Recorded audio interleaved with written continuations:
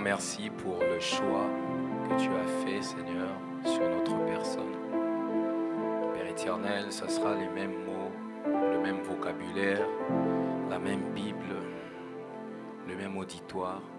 Mais je prie, Seigneur, s'il te plaît, que tu nous fasses grâce pour que tu déverses une onction comme jamais avant. Fais-nous grâce, Seigneur. Parle-nous. Parle à nos cœurs. Change-nous. Révolutionne-nous. Rapproche-nous de toi, Seigneur. Accompagne ta parole par des signes, des miracles, des prodiges pour ta gloire et pour le bien de ton Église. Au nom de Jésus-Christ, nous avons prié, nous disons Amen.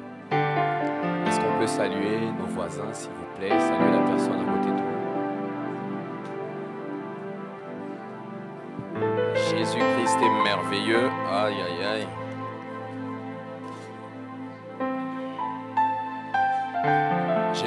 Merveilleux. Je remercie le Seigneur pour la grâce qu'il m'accorde d'être là, debout, devant son Église. Et je m'en vais remercier notre Père dans la maison, l'apôtre Douglas, qui nous a encadrés, qui nous a euh, nourris et enfin qui nous a confié cette, euh, cette tâche. Je remercie aussi mes pasteurs, des personnes merveilleuses qui nous encadrent et qui nous bénissent énormément. Et je vais emprunter donc l'expression du pasteur Michaud qui est devenu celle du pasteur Junior. Sans le peuple de Dieu, il n'y a pas d'église. Donc je vous remercie d'avoir d'être là ce matin et nous allons partager la parole de Dieu. Le Seigneur va nous bénir. Alléluia. Le thème que je vais aborder ce matin s'intitule Cette fois-ci, je louerai l'Éternel. Cette fois-ci, je louerai l'Éternel. J'aimerais que tu regardes ton voisin de gauche. Dites-lui, cette fois-ci, je louerai l'Éternel. Cette fois-ci, regardez votre voisin de droite aussi. Cette fois-ci, je louerai l'Éternel. Il est temps que nous puissions louer l'Éternel dans nos vies. Alléluia. Nous lisons la Bible dans Genèse au chapitre 29 à partir du verset 31. Genèse 29 à partir du verset 31. Oh, God is good. Hmm.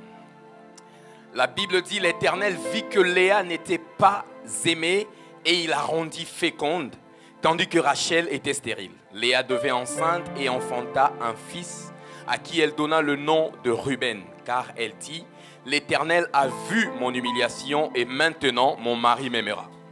Elle devint encore enceinte et enfanta un fils et elle le dit, l'Éternel a entendu que je n'étais pas aimée et il m'a aussi accordé celui-ci. Et elle lui donna le nom de Siméon. Elle devint encore enceinte et enfanta un fils et elle dit, pour cette fois, mon mari s'attachera à moi car je lui ai enfanté trois fils. C'est pourquoi on lui donna le nom de Lévi. Elle devint encore enceinte et enfanta un fils et elle dit, cette fois, je louerai l'Éternel. C'est pourquoi elle lui donna le nom de Judas et elle cessa d'enfanter. Alléluia. Nous connaissons cette histoire de la Bible. Euh, Jacob qui va chez Laban, qui aime Rachel, et Laban lui dit, ok, tu vas travailler cette année pour avoir ta femme que tu aimes. Et la septième année, lors des noces, il se rend compte qu'on lui avait donné Léa.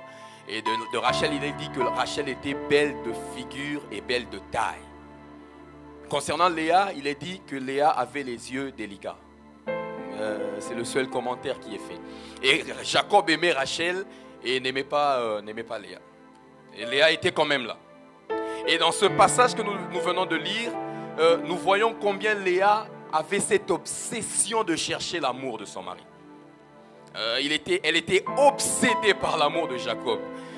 Dans cette obsession, elle n'a même pas pris le temps de jouir des enfants qu'elle avait. Sa seule préoccupation chaque fois qu'elle avait un enfant, c'était je pense que maintenant mon mari m'aimera. Elle a, eu elle a eu des enfants, le premier, le deuxième, le troisième, c'était toujours ça. Euh, c'était toujours des, trucs du genre, euh, euh, je pense que parce que j'ai eu cet enfant-là, mon mari s'attachera à moi. Jusqu'à ce qu'elle va avoir Judas. Quand elle a eu Judas, elle a dit, cette fois, je louerai l'Éternel. Et j'aime ce que la Bible dit juste après. La Bible dit qu'après avoir dit ça, elle cessa d'enfanter. C'est-à-dire qu'elle est entrée dans une sorte de repos. Alléluia. Elle est entrée dans le repos. Elle s'est dit, Jacob, tu peux ou ne pas m'aimer? Léa, Rachel a beau d'être belle de taille et de figure, mais moi, cette fois-ci, je louerai l'Éternel. Judas veut dire, euh, parce que cet enfant donc pour lequel elle avait dit cette fois-ci je louerai l'Éternel s'appelle donc Judas. Et Judas veut dire euh, louange ou action de grâce. En fait, Judas est tiré du mot, du mot hébreu yada. Yada qui veut dire rendre grâce à Dieu ou louer Dieu en ayant les mains levées. C'est-à-dire que Léa, quand elle a eu Judas, elle a cessé de se battre. Elle a juste levé ses mains. Jacob était là. Rachel était là, belle de taille et belle de figure. Mais Léa a dit, soyez là, moi je lève mes mains. Il est temps, frères et sœurs, que quelqu'un au milieu de nous, malgré l'adversité, malgré le combat, malgré les complications, qu'il puisse prendre un petit break et se dire, cette fois-ci, je louerai l'Éternel. Elle n'a pas attendu que les choses s'arrangent. Elle n'a pas attendu que l'adversité finisse. Au milieu de la guerre, frères et sœurs, au milieu du combat, elle a choisi de louer l'Éternel. Vous savez, souvent, il faut juste décider de prendre ce break-là. To have to take a break, comme les Anglais disent. Tu prends un break. Et j'aime les Américains parce qu'eux, ils disent praise break. Dit qu'il y a une petite pause de louange. Ah. Oh! Nous connaissons les pauses club, nous connaissons les pauses café, mais nous avons découvert que souvent il faut prendre une pause. Non pas pour prendre une clope ou un café, mais une pause de louange. Est-ce que tu peux pousser des cris de joie? Oh, je me sens bien là. Je me sens bien. Pause de louange, frères et sœurs. Ça ne veut pas dire que le match est fini, non. Ça ne veut pas dire qu'on a remporté la victoire. Ça ne veut pas dire qu'on n'encaisse pas le coup. Mais je dis à l'ennemi, maintenant c'est moi qui décide de quand est-ce que je vais combattre. Hey. J'aimerais que quelqu'un puisse entrer dans cette dimension. Je ne sais pas la situation que tu traverses. Je ne sais pas la situation qui décide de te sujet de prière il y a souvent des situations qui nous poussent à prier d'une certaine façon. Hein, une situation qui décide que nous devons maintenant prier pour euh, chasser les démons. C'est la situation qui guide tes choix de sujet de prière. Mais maintenant, nous allons dire, tu es là. Diable, tu es là. Maladie, tu es là. Complications de couple, tu es là. Le problème des enfants, vous êtes là. Mais cette fois-ci, j'ai choisi de louer l'éternel. J'ai choisi de louer l'éternel. Mais c'est quoi la louange? Alors de façon simple, la louange c'est l'action de célébrer les mérites de quelqu'un ou de quelque chose au travers un discours ou autre moyen. Il s'agit de célébrer les, mérites. J'ai cherché d'autres définitions, il y en a tellement. Et j'ai trouvé une qui est simple, qui, est, qui dit un peu autre chose et je m'y suis accroché. Hum, ça dit la louange constitue les discours par lesquels on relève les mérites de quelqu'un, de quelque chose ou d'une action. J'aimerais qu'on nous puissions souligner le mot relève. Hein, le mot relève qui vient donc du verbe relever, euh, qui en plus de vouloir dire euh, remettre debout quelque chose qui était couché, mais veut aussi dire prendre note. Relevé bancaire, ça nous dit quelque chose. Prendre note, remarquer, ça veut dire observer, mettre en relief, euh, ça veut dire souligner, c'est-à-dire que quand on loue l'Éternel, quand on, se décide de louer l'Éternel, on se décide en fait de remarquer les choses qu'il a faites. On décide de mettre en relief les choses qu'il a faites. Parce que dans la louange, il s'agit de célébrer Dieu pour ce qu'il a fait, ce qu'il réalise. Et ces choses sont toujours là. Mais souvent, on n'a pas le temps de le relever. Léa était busy, chercher l'amour, et elle ne relevait pas le fait que Dieu lui donnait des enfants. Et quel enfant? Quel enfant? Avant d'avoir Judas, Léa a eu Lévi. Lévi Aaron, Moïse, Samuel, Élie, Jean-Baptiste. Ah, ah entre nous. Pas de culte sans Lévi. Comment tu as Lévi et tu continues à chercher Jacob, l'amour, l'amour. Tu viens d'avoir Lévi. Ouvre les yeux. Tu es en quête d'une satisfaction pour le présent alors que tu ne sais pas que à travers toi toute l'humanité va être sauvée.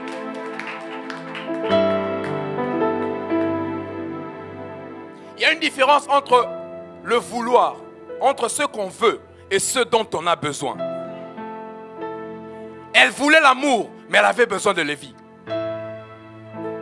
Qu'est-ce que je dis? C'est pas elle qui avait besoin de Lévi. L'humanité avait besoin de Lévi. Sans Lévi, il n'y aurait pas Moïse. Sans Léa, il n'y aurait pas Lévi, donc il n'y aurait pas Moïse. Et elle est là à ne chercher que de l'amour. De toute façon, cet amour, parlons-en. Tu vas chercher l'amour d'une personne qui est polygame, qui a toi, qui a ta soeur et qui a vos servantes. Bah, le fait de venir chez elle prouvait déjà qu'il l'aimait. Peut-être qu'elle cherchait l'attention. Mieux, elle cherchait qu'on puisse l'aimer plus qu'on aime Rachel. Souvent, nous sommes là, nous envions ce qui est chez l'autre. Et nous oublions ce que Dieu nous a donné, nous. Quelqu'un a dit souvent les gens demandent à grandir pour dépasser les autres en taille. Non, demande pas comme ça, demande seulement de grandir, point barre. Elle cherchait ça, frères et sœurs. Elle cherchait cela. Et malheureusement, elle perdait son temps. Elle passait son temps à chercher quelque chose qui était moindre par rapport à ce qu'elle avait. Elle a eu Lévi, elle a eu Judas. Sans Judas, il n'y a pas Jésus. Donc je comprends que quand on entre dans la dimension de la louange, on a le salut. Quand on entre dans la dimension de la louange, on a la guérison. Parce que c'est Jésus. Jésus, Jésus, c'est Dieu sauve son peuple. Dieu nous sauve. C'est-à-dire que quand tu loues, tu obtiens Jésus.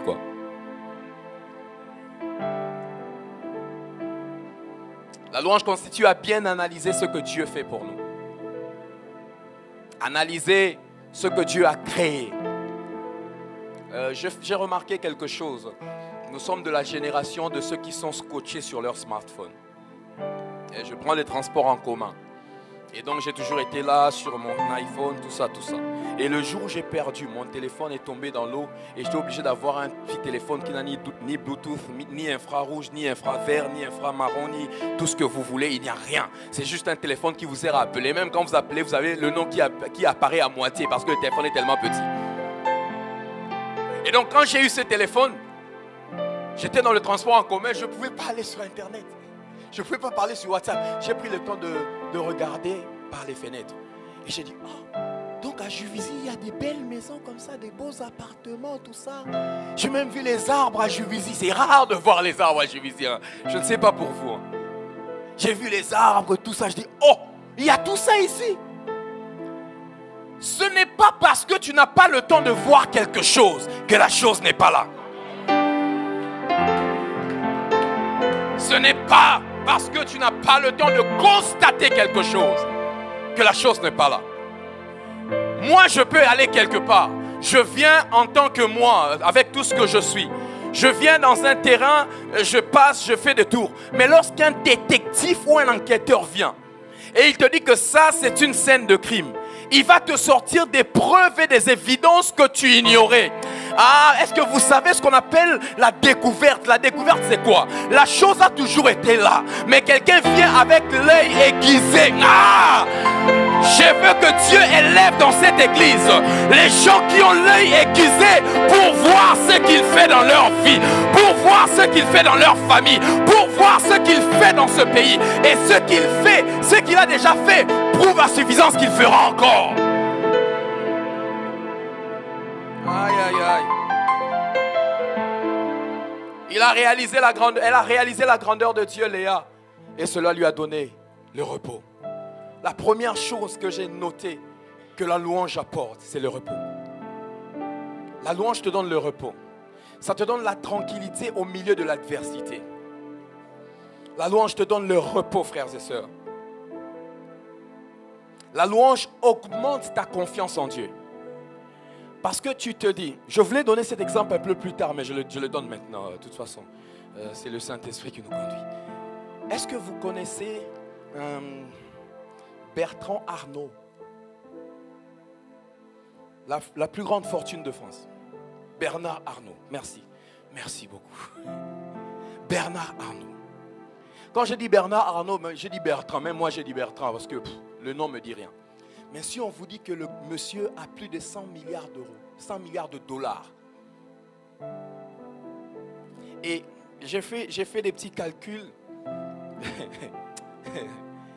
on dit il a 100 milliards de dollars, ok, on dit c'est un chiffre quoi. Mais écoutez, avec un milliard de dollars, tu peux prendre, tu peux parrainer 151 000 enfants pendant 18 ans. Dans les pays où la vie le coût de la vie n'est pas le même qu'ici. Avec un milliard de dollars. Maintenant, avec 100 milliards de dollars, tu peux prendre en charge 15 millions 100 000 enfants pendant 18 ans. Donc le monsieur peut s'asseoir. Il dit, amenez-moi 15 Amenez-moi 15 millions 100 000 enfants. Toi, tu vas à l'école là-bas. Je vais te... pendant 18 ans, jusqu'à l'âge majeur. Avec 100 000 dollars, ça c'est encore plus fou. Tu peux acheter, tu peux acheter des, des burgers. Voilà des burgers. Des burgers de McDonald's. Je ne fais pas la publicité. Quick, Burger King, KFC. Voilà, c'est fait. Tu peux,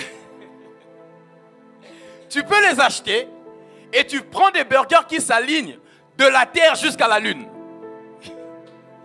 eh oui, tu fais un burger sur l'autre. Pour 100 milliards de dollars, tu peux acheter des burgers qui vont de la terre jusqu'à la lune. Pour 100 milliards de dollars, tu peux acheter des Porsche Tarera qui s'alignent et qui vont de la France jusqu'en Iran. Est-ce qu'on s'imagine? Maintenant, parce que j'ai dit ça, on a l'image de ce que vaut le monsieur. En fait, c'est la louange qui donne de la réputation à la personne. C'est quand on loue Dieu, c'est quand on commence à sécher, à, chercher. Il a créé quoi La barrière de corail? Ah Il a créé quoi la, couche atmosphérique? Oh, oh, oh, oh, oh. Il a créé quoi L'arrêt? Il a créé quoi L'oxygène? Il a créé le souffle de vie. Je ne sais pas si docteur Paty est ici, mais j'aimerais que le médecin me dise quel est le réservoir du souffle de vie dans le corps de l'homme? Ça part d'où, ça va où, c'est stocké où? Lui, l'a créé. Je ne sais pas combien de milliards, de, il y a 7 milliards aux dernières nouvelles d'individus sur la terre. Et lui, il a créé les 7 milliards de souffles de vie. Et c'est lui qui appuie sur sa son bouton glorieux pour que tous ces souffles de vie s'activent le matin. Il a créé les cellules du corps humain. Il a créé les molécules. Alléluia. Il a créé l'univers. Il a créé les galaxies. Je ne parle pas de la galaxie, des galaxies. Et la Bible dit l'univers est, entre ses mains. Et ces genres de personnes se trouvent être son, ton père à toi. Ah, ta sa réputation est tellement grande. Qui que tu sois, quoi que tu fasses, quoi, sur quoi tu fasses face, dès lors que tu es enfant de quelqu'un de ce genre-là, tu ne peux que le louer. Je ne vais pas citer son nom, je vais donner un exemple. Il y a un monsieur dans le pays où je suis né, le Congo, qui est un wrestler, un catcheur. Ce monsieur, il a une réputation. Tout le monde a peur de lui. non, lui, il tape tout le monde, il fait des trucs bizarres. Et il y avait son enfant qui étudiait dans une école. Et l'habitude dans l'époque, c'est que les maîtres, les professeurs tapaient sur les enfants. Et donc le prof a tapé sur son enfant. Et l'enfant lui a dit, je vais appeler mon papa. Je vais appeler mon papa. Le prof disait, oh, ton papa, euh, bah, ton papa, je vais lui expliquer. Euh. Il ne savait pas que c'était lui, le papa. Et le jour où le papa est venu, Il était là, il est grand comme ça, avec des cheveux bizarres. Il vient comme ça. Quand le prof l'a vu, tous les Français ont disparu. Il a commencé à expliquer en lingala. Il suffit que tu saches qui est ton père, frère. Il suffit que tu saches. Et comment tu le sais? En regardant ce que ton père est capable de faire. Ce que ton père a fait, frères et sœurs. Ce que ton père a déjà fait. Alléluia. Oh Jésus.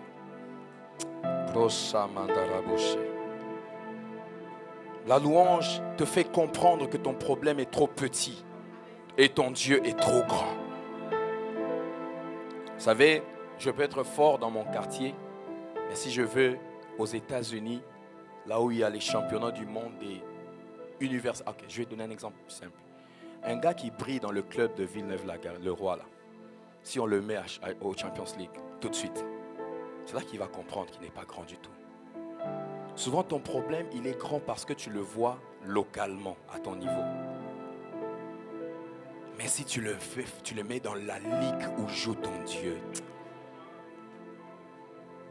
Est-ce que vous savez que c'est ton Dieu qui a créé l'enfer? Oui. Il a créé le lac de feu qui ne s'éteint jamais. Là où il va prendre Satan, l'enchaîner et le jeter dedans. Voyez un peu le niveau, le, le taux de la louange un peu.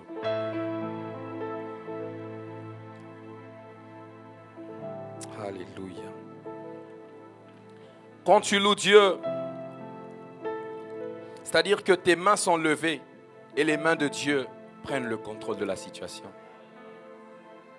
Voilà pourquoi il ne s'agit pas seulement de lever les mains physiquement et de les garder spirituellement sur nos problèmes. Mais lorsque nous levons nos mains, que nous le levions, que nous lâchions un peu. Que nous lâchions un peu. J'ai appris à dire que certains problèmes n'ont pour remettre que le temps. Il y, a il y a certains problèmes, on peut pleurer du matin au soir, ils ne changeront pas. Et le temps est tellement compté que le temps que je passe à pleurer, laisse-moi louer mon Dieu. Laisse-moi louer mon Dieu. La louange fait en sorte que le trône de Dieu vienne au milieu de nous. Dans Psaume 22, 3, il a dit, tu es saint, or toi tu es saint, et tu sièges dans la louange d'Israël, ton peuple. En fait, quand ils disent que tu sièges dans la louange de ton peuple, cela veut dire que Dieu se sent à l'aise là où il est loué. C'est-à-dire que souvent nous mettons Dieu mal à l'aise lorsque nous exaltons nos problèmes. Voilà pourquoi dans l'église, dans le temps de, d'Israël, ils entraient à l'église avec les chants de louange. Ils montaient les marches de l'église. Ce que c'est disait, celui que nous allons voir là-bas, il n'aime pas qu'on soit triste devant lui. En fait, nous, nous le chantons alors que j'ai des problèmes, je le chante quand même. Et lui, parce qu'il sonde les cœurs et les reins, il va se rendre compte que je le, je le chante ayant des problèmes. Donc ça va le mettre à l'aise pour qu'il prenne des solutions. Et lorsque la Bible dit que Dieu siège au milieu de la louange, eh, ça veut dire que son trône est environné de louanges. Donc le trône de Dieu est environné de louanges. Quand tu loues Dieu sur la terre, il se sent sur la terre comme au, comme au ciel. Voilà pourquoi au lieu de dire que ton règne vienne, loue Dieu suffisamment, son règne viendra. Et sa volonté se fera sur la terre comme au ciel. Je ne vais pas parler du ciel, parce que le ciel, c'est encore une autre dimension qui est assez importante. Parce que quand la Bible parle du ciel, ou la Bible parle des cieux, la Bible parle de l'éternité. La Bible parle de l'éternité qui est un monde, le monde de Dieu, qui n'est régi ni par le temps ni par l'espace. C'est-à-dire que quelqu'un qui loue Dieu, l'éternité vient dans le temps. C'est-à-dire que les choses qui t'étaient destinées dans 20 ans, parce que dans l'éternité, le temps est contrôlé, il peut te les amener maintenant. Il peut te les amener maintenant. Oh Jésus. Psaume 22, verset 3, j'avais dit qu'il siège de la louange. La louange met la confusion dans les camps des ennemis. Nous connaissons l'histoire de 2 Chroniques 20. Je vais lire euh, vite fait euh, euh, pour que nous puissions nous faire l'idée de ce que c'est. Mais pour lecture de, lecteur de la parole que nous sommes, nous savons de quoi il s'agit. Il s'agit de l'histoire de Josaphat qui fait face aux différents rois. De Chronique 20 à partir du verset 21. La Bible dit, puis d'accord avec le peuple, il nomma des chantres qui, revêtus d'ornements sacrés et marchant devant l'armée, célébraient l'Éternel et disaient, louez l'Éternel, car sa miséricorde dura toujours. Au moment où l'on commençait des chants et de louanges, l'Éternel plaça une embuscade contre les fils d'Amon et de Moab, et ceux de la, de la montagne de Séhir, qui étaient venus contre Juda, et ils furent battus. Les fils d'Amon et de Moab se jetèrent sur les habitants de la montagne de Séhir pour les dévouer par interdit et les exterminer. Et quand ils en eurent fini avec les habitants de Séhir, ils cédèrent les uns les autres et se détruirent. Lorsque Judas fut arrivé sur la hauteur d'où l'on aperçoit le désert, ils regardèrent du côté de la multitude et voici, c'étaient des cadavres étendus à terre et personne n'avait échappé.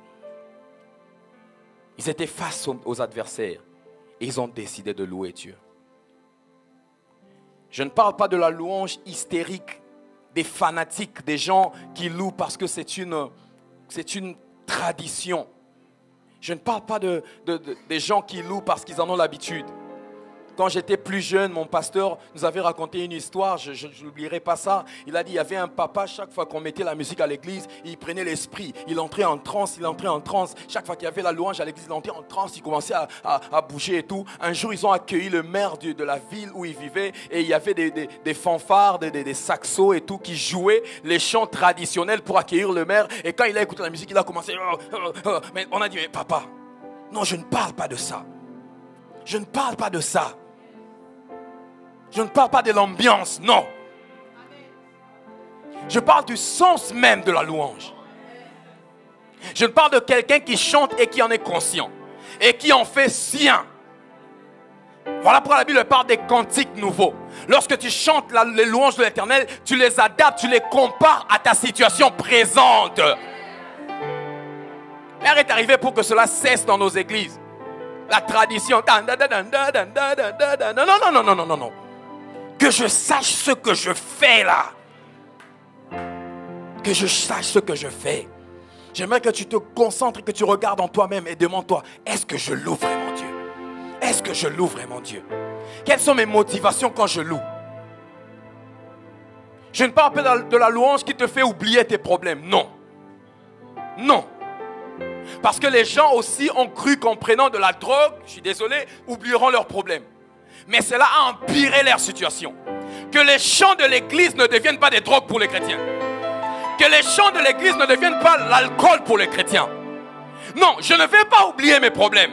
Mes problèmes sont là. Mais j'ai juste vu d'autres solutions qui sont plus grandes que mes problèmes. La Bible dit, lorsque Étienne était lapidé, la Bible dit qu'il ouvrit ses yeux et vit Jésus debout à la droite du Père. Ce qu'il a vu était tellement grand que ceux qui étaient en face de lui, il a dit, Seigneur, pardonne-leur. Qu'est-ce que tu vois lorsque tu loues? Non, non, non, je ne veux pas que mes problèmes soient oubliés. Non, je ne veux pas oublier mes problèmes. Mais je veux juste entrer suffisamment dans la concentration jusqu'à ce que je vois la grandeur de Dieu. Après un jour, lorsqu'on était à la retraite des jeunes, on chantait, on chantait, on, a commencé à dire Vois Dieu, vois Dieu. Et quelqu'un était je lui dit Mais pourquoi tu dis aux gens Je vois Dieu? Oui, on voit Dieu, mais. Come on. Vois Dieu, frères et sœurs. La Bible dit, nous aussi, de visage, à visage découvert, nous contemplons la gloire.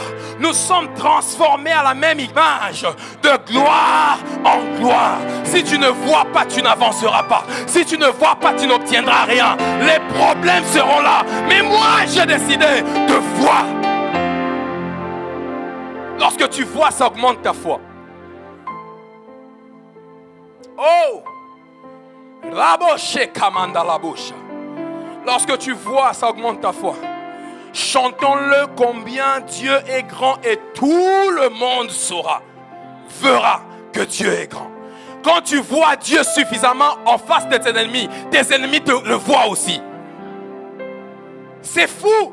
Ils sont là, trois armées réunies face à Judas. Et Judas commence à chanter. J'espère qu'il disait, ah Seigneur, nous savons, lorsque tu as séparé la mer rouge en Égypte, la mer était plus forte que ces gens que nous voyons. Donc nous ne craignons pas, nous ne craignons pas, nous ne craignons pas, nous ne craignons. Et ces gens disent, mais qu'est-ce qui se passe? Ils sont fous quoi Et plus ils le disaient, les adversaires ont commencé à voir. Et lorsque Dieu ouvre les yeux de tes adversaires, il les ouvre pour le voir lui et il les ferme pour ne pas te voir toi.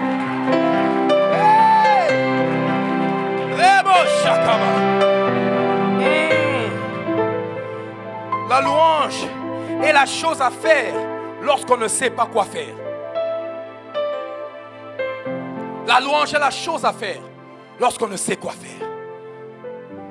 Mais attendez, dans Acte 16, Paul, après avoir reçu deux ou trois fois les visions, Dieu lui disant, ah, va ici et ne va pas ici, va ici et ne va pas ici, et il va décider enfin de bouger.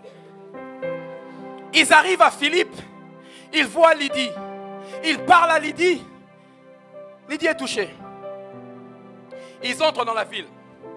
Ils entrent dans la ville alors qu'ils allaient au lieu du culte. Une femme se mit à leur dire, c'est ceux-là sont des serviteurs de Dieu, ceux-là sont des... Paul, la Bible dit, Paul, agacé par cela, dit, Esprit, sort au nom de Jésus. La femme est délivrée. Ceux qui mettaient la femme là, parce que la femme était animée d'un esprit de python, elle devinait les choses pour apporter de l'argent à ses maîtres. J'aimerais m'arrêter là un peu. Elle devinait des choses, et des choses qu'elle devinait étaient vraies. Combien de fois quelqu'un ne nous a-t-il pas dit des choses qui sont vraies pour nous, mais qui ne viennent pas de Dieu? Je passe. La femme est délivrée. C'est chefs viennent, ils prennent Paul et Silas, ils le, mettent devant le peuple, ils sont tabassés et ils sont jetés en prison. Et lorsqu'ils jugent Paul, il dit ces gens sont des Hébreux ou des Juifs. Ils sont jetés en prison. Et la Bible dit au milieu de la nuit. Parce qu'ils ne savaient quoi faire. Seigneur, n'est-ce pas que nous avons fait une bonne action? Là, je parle à quelqu'un. Quelqu'un qui se retrouve dans une situation qu'il ne peut pas expliquer. Je n'ai rien fait de mal. Mais pourquoi je me retrouve dans cette situation? Oui, j'ai peut-être fait quelque chose de mal, mais qui est dans le passé. Mais pourquoi il y a ce chaos? J'aimerais te dire, lorsque tu ne sais pas quoi faire, la chose à faire, c'est de louer Dieu. Et je dis louer Dieu pas traditionnellement, mais commencer à voir ce que Dieu a déjà fait dans le passé au milieu de la nuit, commencèrent à chanter. Ils chantaient les louanges à Dieu. La Bible dit tout à coup, il y eut tremblement dans la prison. Et les chaînes furent fendues. Les chaînes tombèrent de leurs mains. Et les, portes d'autres prisons, de prisonniers s'ouvrirent. Maintenant, le geôlier se rendit compte. Il sortit son épée, il, il voulut se tuer. Paul lui dit non, on est encore là.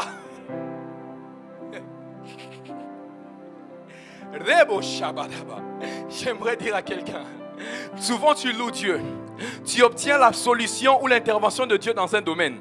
Tu penses que c'est ça la vraie solution. Non, c'est qu'une une solution intermédiaire. Ah, ça aurait été moi. Je vois les chaînes tomber, les prisons ouvertes. Mais Paul plongeait dans la révélation. Il a dit non, nous sommes là. T'en fais pas, c'est pas fini. Le monsieur vient. Que dois-je faire? Il les amène chez lui à la maison. Je pense que le monsieur, sa maison, c'était juste à côté de la prison au-dessus de la prison. Ça, c'est pas dit dans la Bible. Mais c'est ce que je pense. Et il les amène chez lui. Paul lui dit Crois au Seigneur Jésus, virgule, tu seras sauvé, virgule, toi et ta famille. C'est-à-dire que crois, et ta, crois au Seigneur Jésus-Christ, toi et ta famille, et vous serez sauvés. Alléluia. Et ils sont prêchés, ils sont baptisés, ils sont dans la joie. Et le matin arrive. Parce que souvent je m'arrêtais là. Lorsque je lisais ce passage, je m'arrêtais.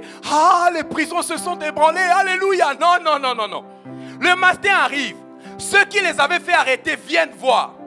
Ils envoient quelqu'un pour dire, va leur dire de partir, c'est bon, on les a arrêtés, ils sont dormis dans la prison, c'est bon. Paul dit non. Vous nous avez frappés, vous ne savez pas qu'on est des Romains. Mais Paul, pourquoi tu ne l'avais pas dit lorsqu'on vous arrêtait Lorsqu'on vous arrêtait, on a dit que vous étiez des juifs. Mais toi, tu dis, je suis un citoyen romain, donc vous, n'allez pas me frapper. Et les gens étaient obligés de demander pardon à Paul. Alléluia. Et c'est à travers ça que Paul a eu entre autres le chemin pour aller voir César et prêcher à la cohorte de César. Tu ne sais pas que les portes que la louange peuvent t'ouvrir, frère, ma soeur. Tu ne sais pas, frères et sœurs. Quand tu ne sais pas, loue seulement. Loue seulement, frères et sœurs. Loue. Alors, je vais donner trois sujets majeurs avant de finir pour lesquels nous devons louer Dieu. Trois sujets majeurs. Le premier, c'est louer Dieu pour ce qu'il a fait dans nos vies. Le, deuxième, c'est louer Dieu pour sa création. Et le troisième, c'est louer Dieu pour Jésus-Christ. Je l'avais dit, euh, dans louer Dieu pour ce qu'il a fait dans nos vies. Je l'avais dit que lorsque Léa avait ses fils, elle ne réalisait pas quel fils elle avait. Elle, voulait quelque chose, mais Dieu répondait aux besoins. Ses besoins à elle, mais aussi ses besoins pour l'humanité. Parce que lorsque Léa va arrêter d'accoucher, lorsqu'elle s'est reposée, et que Rachel a commencé à se tourmenter, à s'agiter, elle a eu des enfants par ses, servantes. Léa aussi a eu des enfants. Lorsque Léa devait accoucher à nouveau, c'était parce que Ruben était parti cueillir des mandragoles et qu'il les a amenés. Rachel les a demandés. Léa a dit non, ça c'est mon fils qui les a cueillis. Et Rachel dit, donne-les-moi s'il te plaît, je vais manger et toi, tu auras notre mari ce soir. Et c'est là qu'elle a encore eu un enfant. Elle ne réalisait pas. Elle ne réalisait pas. Louons Dieu pour ce qu'il a fait, frères et sœurs. Qu'est-ce qu'il a fait dans ta vie? Tu es vivant ce matin, frères et sœurs. Ton corps fonctionne. Loue Dieu pour ça d'abord.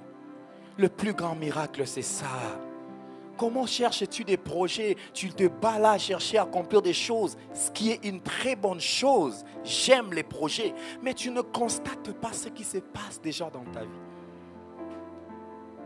Tu ne constates pas. Loue Dieu, constate, regarde, prends note de ce qu'il fait déjà dans ta vie. Loue Dieu pour ce qu'il a fait, ce qu'il a créé, l'œuvre de Dieu. Mais regardez un peu, regardez un peu. Regardez l'univers, frères et sœurs. Regardez un peu comment un, grain est planté et meurt et commence à germer. Regardez un peu.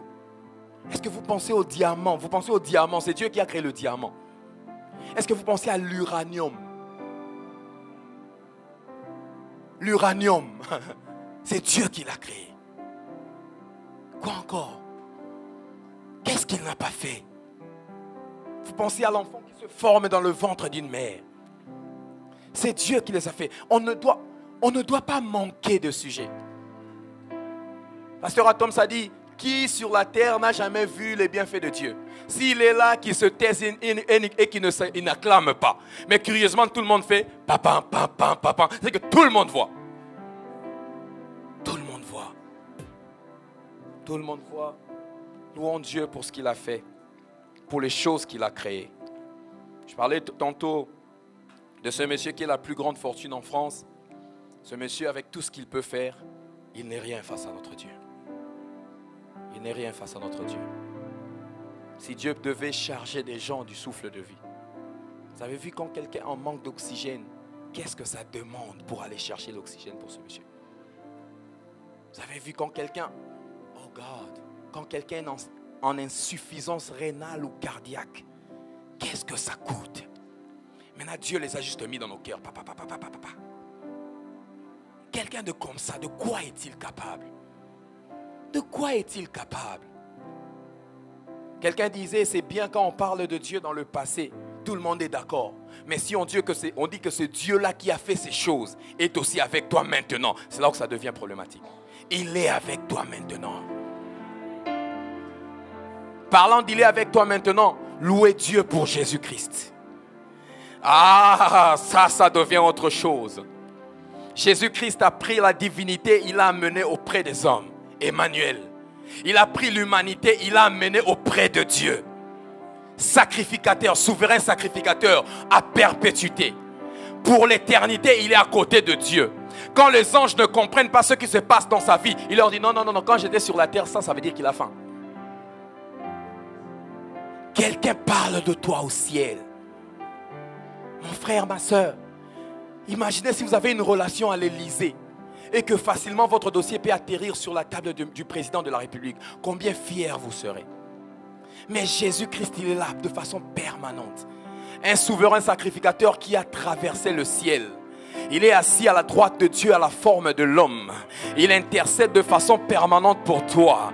La chose la plus difficile, ce n'est pas de chasser des démons. La chose la plus difficile, c'est d'avoir Dieu avec lui. Voilà pourquoi les religions existent. Parce qu'à la base, le but d'une religion, c'est de chercher Dieu. En cherchant Dieu, ils finissent par se dérouter parce qu'ils ne cherchent pas sur le bon chemin. Mais Jésus-Christ a pris Dieu, il l'a amené en toi. Il l'a amené en toi. Dans Colossiens 1, 27, il a dit Christ en nous, c'est l'espérance de la gloire.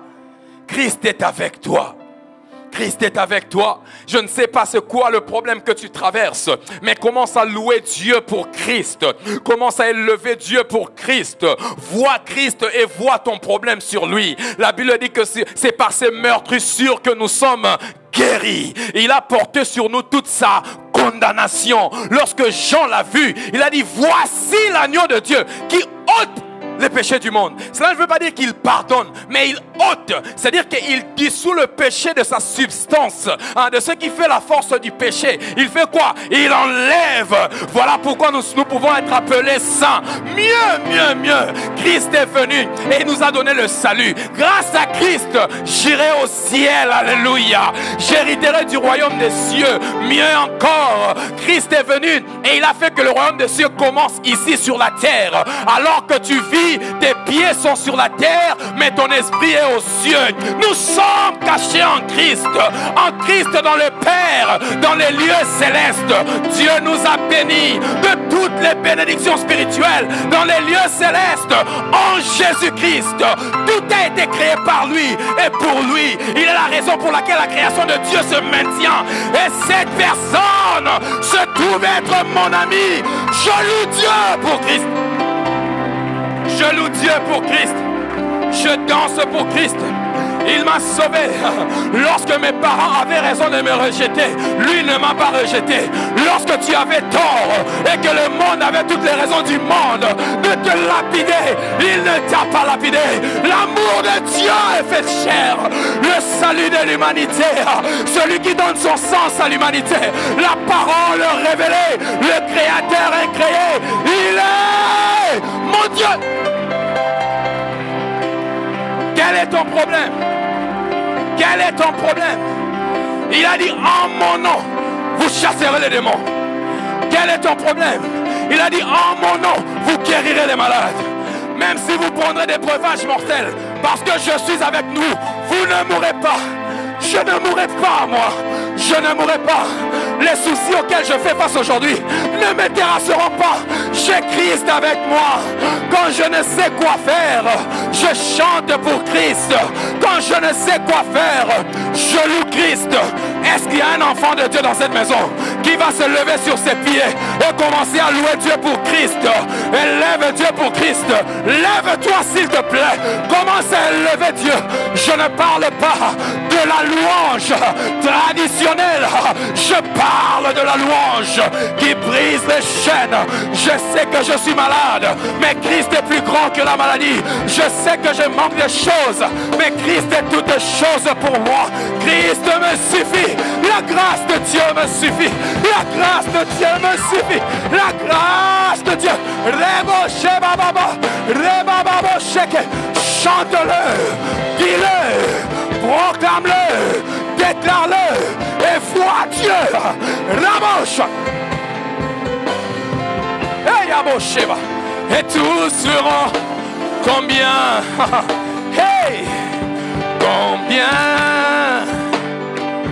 Dieu est grand. Est-ce que tu peux le dire en réalisant que ton Dieu est grand? Combien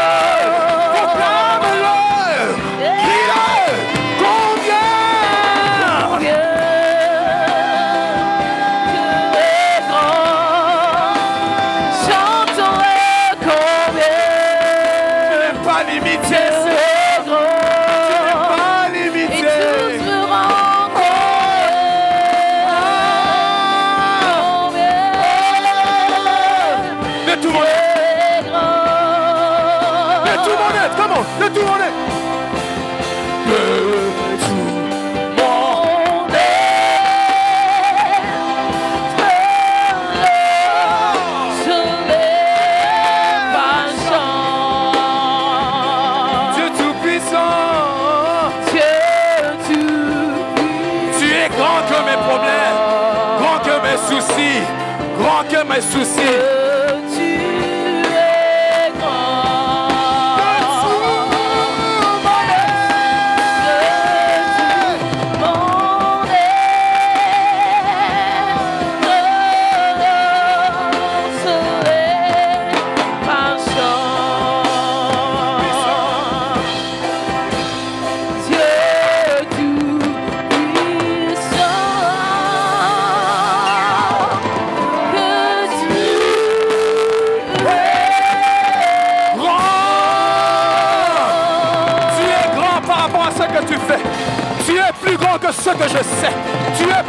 ce que je vois. C'est quoi le problème? Quelle est cette maladie? Quel est ce souci? Quel est ce souci? Mon Dieu est grand! Mon Dieu est grand! Mon Dieu est grand! Mon Dieu est grand! Maladie! Foi! Mon Dieu est grand!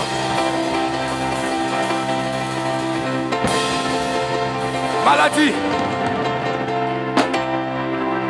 Je ne sais pas la maladie qui est dans ton corps. Je ne connais pas son nom. Mais je déclare maintenant que ta maladie commence à voir la grandeur de ton Dieu.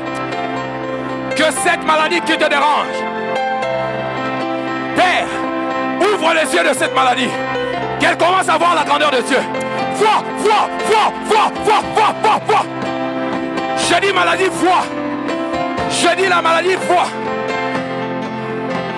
Quelle est cette stérilité? La stérilité dans ton couple. Aujourd'hui, la stérilité a ouvert les yeux. Elle commence à voir la grandeur de ton Dieu.